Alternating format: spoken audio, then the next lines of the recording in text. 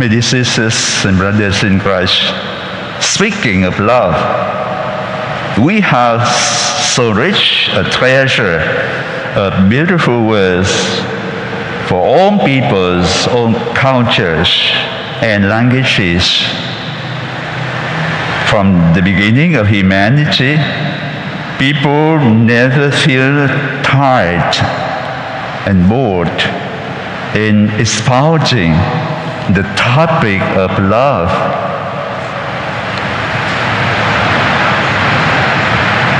This topic remains always inspiring, always new, and always timely.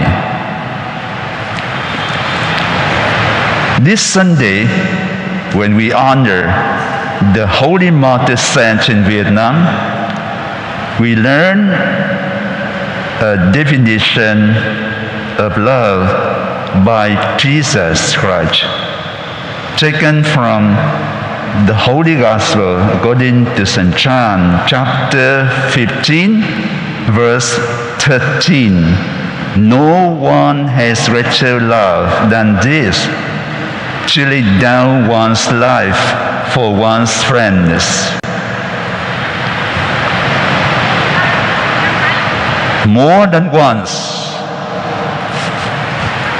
we hear people say, I love you.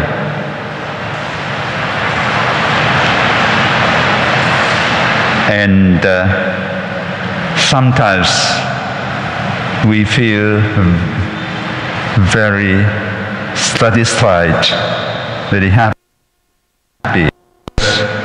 Those words are nice to hear. They even have wings to bring you up on clouds nine to the moon. Unfortunately, end up being empty promises. Don't listen to what they say, but you would better observe what they are doing. Jesus, unlike others, always keeps his promises. What he has said, he also did. Even by so doing, he had to suffer. He laid down his life on the cross to save us from sin and death. No words can express this great love of Him who so loved me and you. He laid down His own life for me and for you.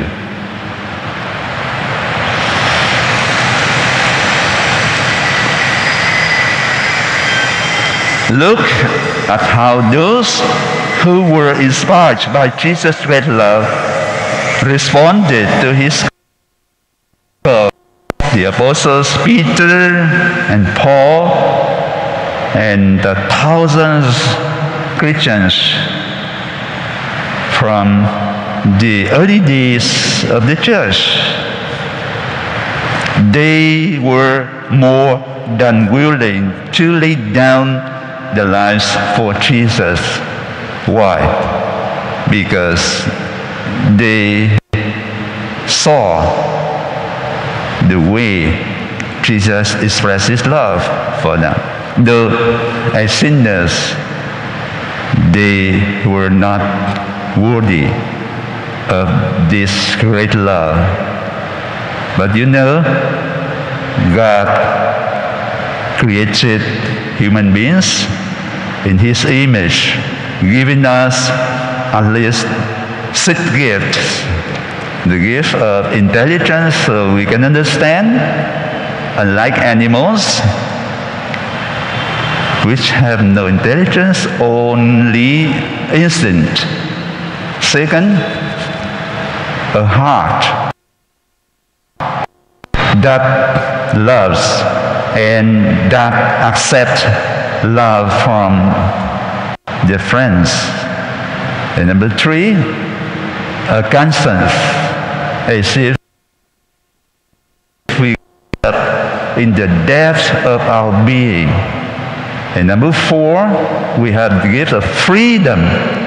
We are not programmed as animals, but we have freedom to decide on our own will, to be worthy of God's image, and later on, being God's children, the children of light, children of freedom. And number five, we have the very strong desire to see God one day face to face According to St. Augustine, this longing for God already put in the depth of our human nature. This is why when the first man and woman committed sin, the evil forces already destroyed the good gifts given by God to our human persons. And from that day on, we have very selfish love. We say we love others, but in reality, we love ourselves. We have very good pretext to do charity work for the poor, for the uh, uh, less uh, fortunate. But in reality, we want to have our name known by mass media. We feel happy when people greet us, great benefactors. Or even in the service of God, we still have this mentality of commercial trading as the Latin goes, do ut des. I give you something in order that you give me back something else. This is a mentality not that of true worshippers. That he just said, true worshippers we worship God in spirit and freedom. So the reason why Jesus came down from heaven to save us from temptation for money, for position, for other selfish and uh, sinful agenda. In one of the best gifts Jesus gave us by laying down his own life on the cross is the gift of true love, of great love that uh, Jesus said in the gospel according to St. John. No one has greater love than this to friends. So, my dear sisters, brothers, today as we celebrate the solemnity of the Holy Martyr Saints in Vietnam, we pray to first the uh, powerful and uh, saving Lord Jesus to save us from all forms of uh, selfishness, even in our love for that and for others. So we have to follow the way Jesus so loved us that he let down his without asking for anything in return. He so loved us. He died for us without asking for anything in return. And we too have to practice this great love to even lay down our lives for our friends. without asking them for anything back. By so doing, my dear sister brothers, we may be worthy of being Christians, followers of Christ, believers in Christ.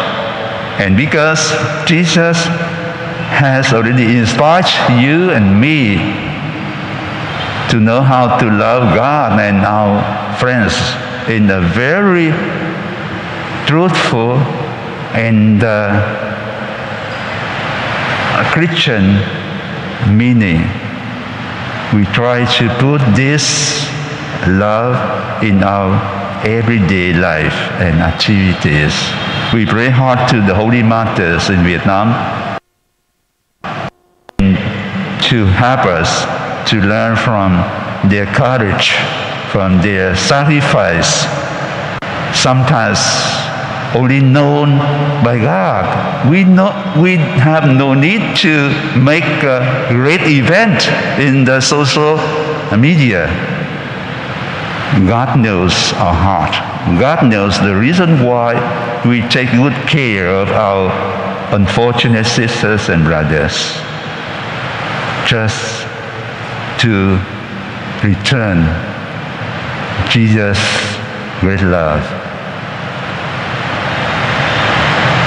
We know that in this time of uh, crisis, we badly need the examples of the holy martyrs to be ready to respond to Jesus' call to love, to love in particular the poor, the suffering, and the less fortunate in our today's society. After the example of the holy martyrs, after the example of Jesus Christ, our Lord and Savior, who so loved us, he laid down his own life to save us from the power of sin, from the power of death, from the forces of evil. Amen. Can stand and renew our faith in God the Father?